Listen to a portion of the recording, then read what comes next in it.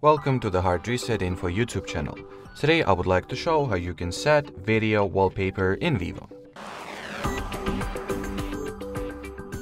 So, by video wallpaper you must probably mean the live wallpapers.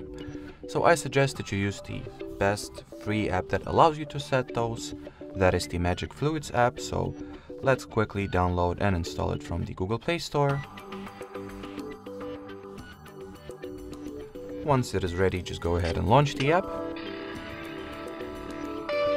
Let me quickly turn off the music. Then uh, you can see how it interacts with you as the user. Uh, then from here you can select the presets or customize its uh, effects as well.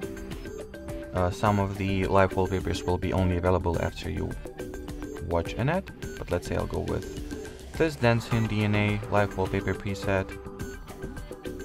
And then simply, well, let me close it real quick. So now we gotta somehow close this stuff.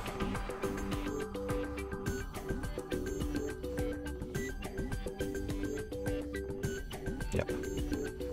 And then we can just apply it as our wallpaper by going for these three lines and tapping at the set as live wallpaper option.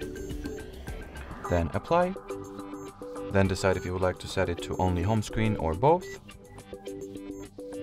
And well, as you can see, that will be it. So thanks for watching, thanks for your attention, and bye bye.